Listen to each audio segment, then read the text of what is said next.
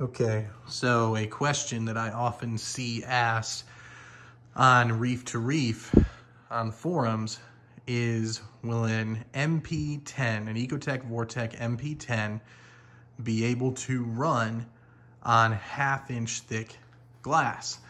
So this here is a Waterbox aquarium, very high quality glass, half inch thick. And as you can see, I had two MP10s from my previous build that I have on either side of the overflow box.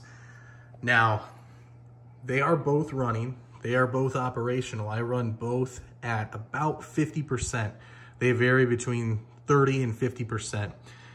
As I ramp up to 50%, you get a, a little bit of a shiver in these units.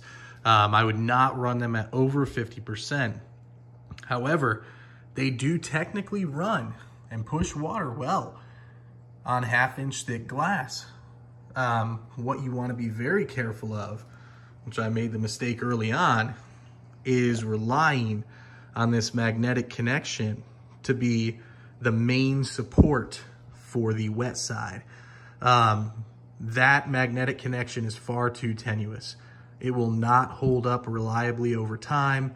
If you get just a little of that shiver I was referring to earlier, um, absolutely the dry side is going to fall and you risk damaging the dry side. Fortunately, mine fell onto my um, water change table here um, and was not damaged. What I did to combat it was to utilize my light stand uh, as sort of a brace mechanism um, and instead of using the, the little stick-on piece with a zip tie, which I tried and it failed because it is just too much weight over the long term on a, on a little piece like that, um, I went ahead and just pulled these real taut and allowed them to rest right on the supporting parts of this lighting brace. So this cable is quite taut it's enough to keep it held up and you can, you have a little bit of sway that you can pull these out.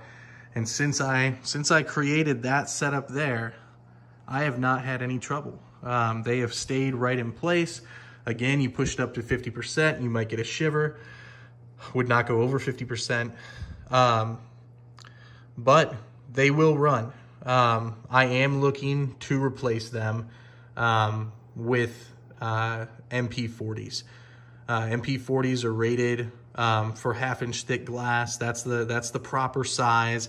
And as I get more Acropora in this tank, um, I am absolutely going to want uh, more flow in the tank than I currently have. Um, I've got a Nero 5 right now pushing from this side.